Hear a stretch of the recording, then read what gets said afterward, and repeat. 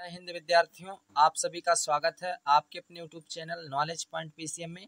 आज की इस वीडियो में हम आपको पढ़ाने वाले हैं प्रश्नावली 6.4 और 6.4 का साथियों, प्रश्न संख्या एक से लेकर तीन तक के हल बताया जाएगा।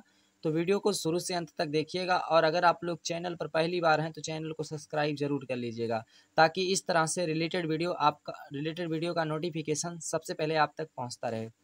और हाँ साथियों, एक बात और आपसे हम कहना चाहते हैं कभी कभी होता क्या है देखिए, हम बोलते तो सही हैं, लेकिन क्वेश्चन में लिखने में कुछ दूसरा लिख जाता है तो उतना अगर कभी गलती हो जाए तो उसको सुधार कर लिया कीजिए आप सभी लोग। कहीं एक आध क्वेश्चन में हमसे ऐसी गलती हो गई है तो इस पर आप लोग थोड़ा सुधार कर लीजिए। हो सकता है साथियों, कभी कई सब्जेक्ट पढ़ाना होता है तो दिमाग बटा रहता है तो इसलिए थोड़ा आप लोग उतना सुधार कर लिया कीजिए।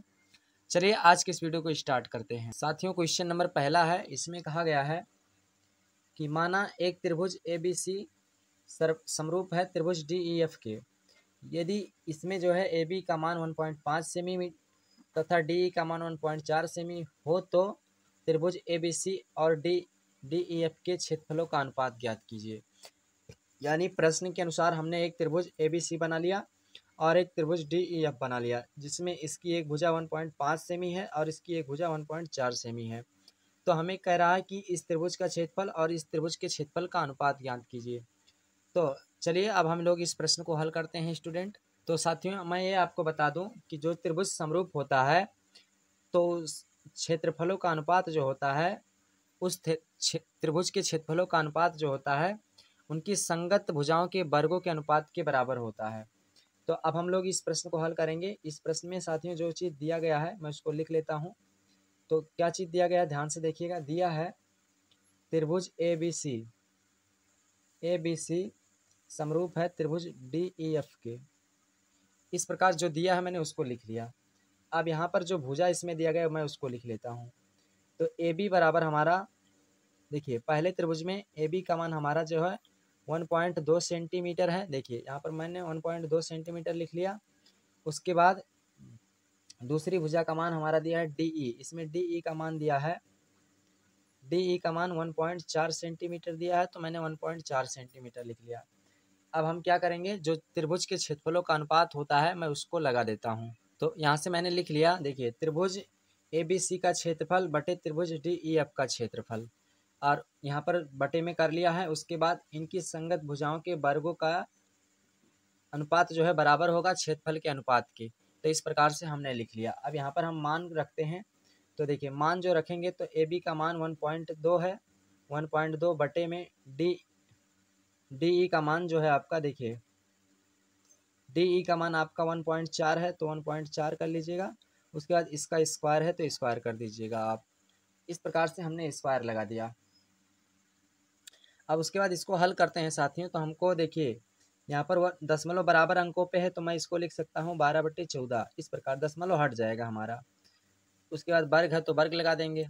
उसके बाद इसको आगे सॉल्व करते हैं तो बारह बरहियन साथियों, हमारा जो है तो बारह बरहियम एक सौ चवालीस यानी वर्ग करके भी निकाल सकते हैं, या तो मैं इसको यहीं कैंसिल कर देता हूँ। देखिए, इसको काटेंगे साथियों तो ये हमारा छः से डिवाइड हो जाएगा, और इसको काटेंगे तो ये सात से डिवाइड हो जाएगा। तो यानी हमारा जो आएगा, वो आएगा छः बटे सात का स्क्वायर छः बटे सात का स्क्वायर आ जाएगा। उसके बाद यहाँ पर हमारा जो मान आएगा छछवक छत्तीस और सात सतह उनचास। छछवक छत्तीस और सात सतह उनचास, यानी कि क्षेत्रफल का अनुपात जो होगा हमारा, वो छत्तीस अनुपात उनचास होगा। अब हम लास्ट में लिख देंगे, त्रिभुज ए बी सी और त्रिभुज डी ई एफ़ के क्षेत्रफल का अनुपात बराबर छत्तीस अनुपात उनचास। यहाँ पर बटे का मतलब अनुपात भी होता है तो हम यहाँ पर छत्तीस अनुपात उनचास लिख सकता हूँ। तो इस प्रकार हमारा इस प्रश्न का हल रहा। आशा करते हैं कि आप सभी लोग इस प्रश्न का हल समझ गए होंगे।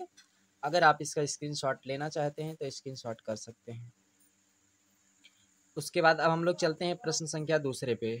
साथियों, ये रहा प्रश्न संख्या दूसरा। इसमें कहा गया है, दो समरूप त्रिभुजों की संगत भुजाएँ दो अनुपाते, तीन के अनुपात में हैं। यदि छोटे त्रिभुज का क्षेत्रफल अड़तालीस वर्ग सेमी और हो, है तो बड़े त्रिभुज का क्षेत्रफल ज्ञात कीजिए। प्रश्न कुल मिलाकर उसी फार्मूले पे हल होगा। तो चलिए अब हम लोग प्रश्न को हल कर लेते हैं।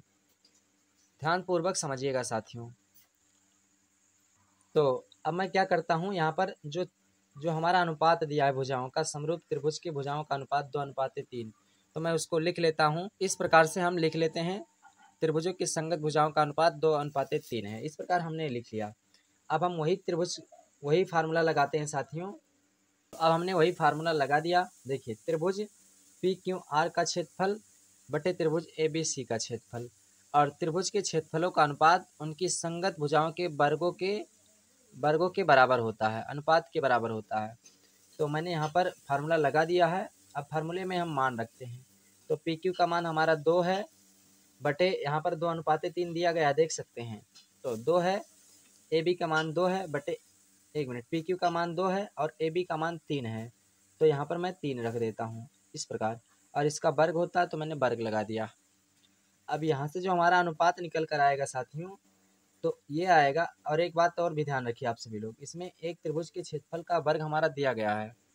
तो यहाँ से हमारा एक त्रिभुज का जो है क्षेत्रफल दिया है अड़तालीस। तो पी क्यू आर का अड़तालीस दिया तो यहाँ पर अड़तालीस लिख लेते हैं।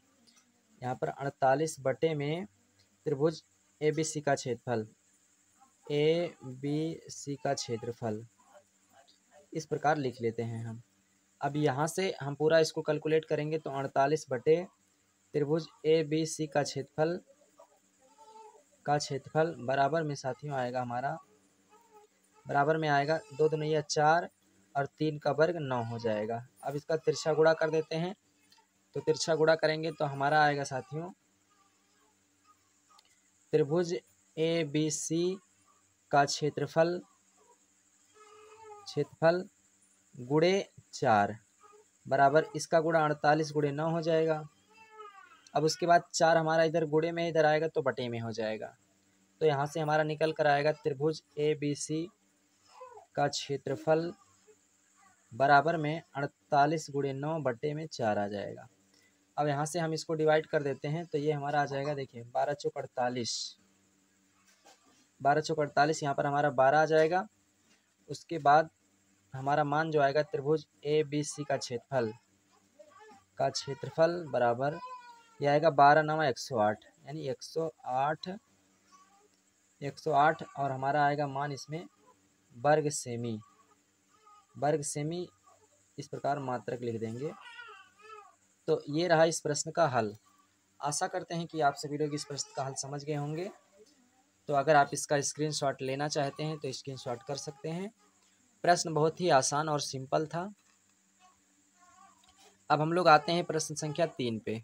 साथियों, ये रहा प्रश्न संख्या तीस। इसमें कहा गया, दो समरूप त्रिभुजों के क्षेत्रफल छत्तीस वर्ग सेमी और सौ वर्ग सेमी है। यदि बड़े त्रिभुज की एक भुजा की लंबाई 20 सेंटीमीटर है, इस भुजा के संगत छोटे त्रिभुज के त्रिभुज की भुजा की लंबाई ज्ञात कीजिए। यानी प्रश्न कुल मिलाकर बहुत ही आसान है। अब हम लोग इस प्रश्न को आइए हल करते हैं। तो यहाँ से प्रश्न में जिस प्रकार कहा गया है, मैंने उसमें उसका फिगर बना लिया। एक त्रिभुज का क्षेत्रफल सौ वर्ग सेमी है, दूसरे का छत्तीस वर्ग सेमी है। मैंने यहाँ पर लिख लिया। अब हम यहाँ पर दिखाएँगे त्रिभुज A B C A B C समरूप है त्रिभुज पी क्यू आर के। तो इस प्रकार समरूप है तो मैं लिख लेता हूँ। अब जो है वही फार्मूला लगाएँगे, क्षेत्रफलों का अनुपात उनके वर्ग के अनुपात के बराबर होता है। उनके भुजाओं के वर्ग के अनुपात के बराबर होता है। तो यहाँ पर लिखेंगे त्रिभुज त्रिभुज P Q R P Q R का क्षेत्रफल बटे त्रिभुज, बटे में त्रिभुज त्रिभुज जो दूसरा त्रिभुज है हमारा साथियों ए बी सी त्रिभुज ए बी सी का क्षेत्रफल। तो मैंने क्षेत्रफल लगा दिया, उसके बाद बराबर संगत भुजाओं का जो वर्ग होता है उसको भी लगा देंगे। तो इसमें संगत भुजाओं का वर्ग क्या होगा साथियों? एक भुजा हमारा पी क्यू है तो पी क्यू हो जाएगा।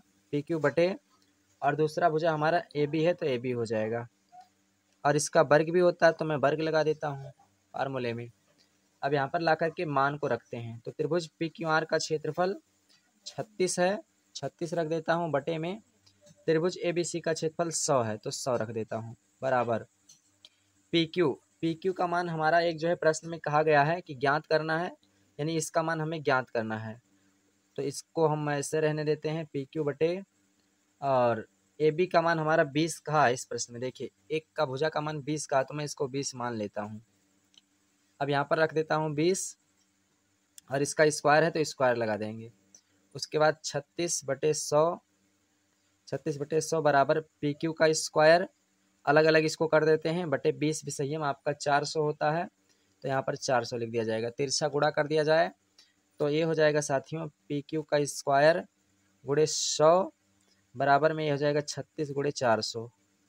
सौ को इधर भेज देंगे तो पी क्यू पी क्यू का स्क्वायर बराबर ये हो जाएगा छत्तीस गुड़े चार सौ बटे में सौ है तो सौ कर देंगे। ज़ीरो से ज़ीरो कैंसिल हो जाएगा, ज़ीरो से ज़ीरो कैंसिल हो जाएगा। तो आपका छत्तीस में चार से गुड़ा करेंगे, वही आंसर हो जाएगा। तो पी क्यू का स्क्वायर बराबर छत्तीस का गुड़ा अगर आप चार सौ में करते हैं साथियों तो आपका जो मान आएगा तो यह आ जाएगा छः चौक चौबीस के चार हाथ है दो, और फिर चार तिहाई बारह और दो चौदह, यानी एक सौ चौवालीस आ जाएगा।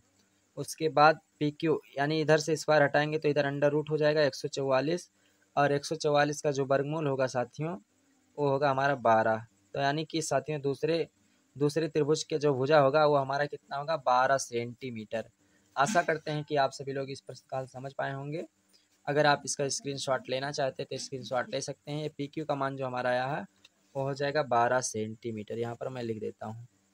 इस प्रकार से इस प्रश्न को हल किया गया है। अगर आप इसका स्क्रीनशॉट लेना चाहते हैं तो स्क्रीनशॉट कर सकते हैं।